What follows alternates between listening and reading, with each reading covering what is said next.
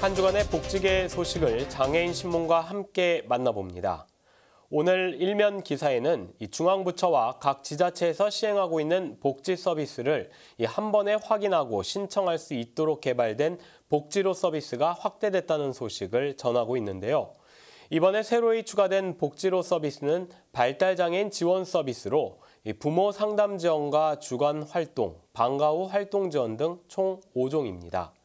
또한 복지부는 현재 복지로에서 신청할 수 있는 장애인 활동 지원 서비스에 긴급 활동 지원 사업에 대한 신청도 추가됐다고 말했습니다.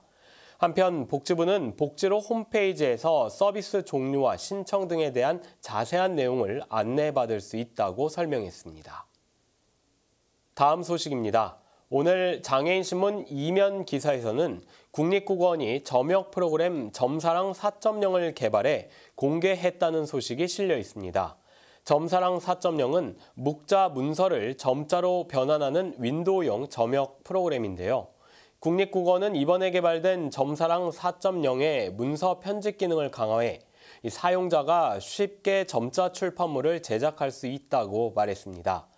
점사람 4.0은 국립국어원 점자 종합정보 누리집과 한국시각장애인연합회 누리집에서 내려받을 수 있습니다. 다음 뉴스입니다. 국립자연휴양림 관리소가 정보 취약계층인 중증장애인들의 휴양림 이용 편의를 위해 시범적으로 운영하던 장애인 전화예약 서비스를 정식 운영합니다.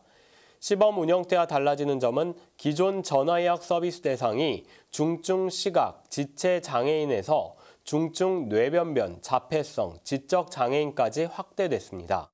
관리소는 1588-3250 대표번호로 장애인 전화예약 서비스를 이용하고자 할 경우 멘트 안내 시 2번을 누르면 장애인 유선 접수 문의에 대한 안내를 받을 수 있다고 말했습니다.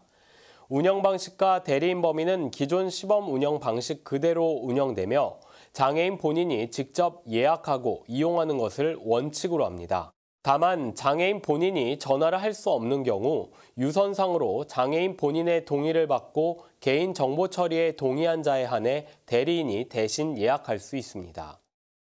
더 자세한 뉴스는 장애인 신문과 웰페어 뉴스 홈페이지를 통해 확인할 수 있습니다.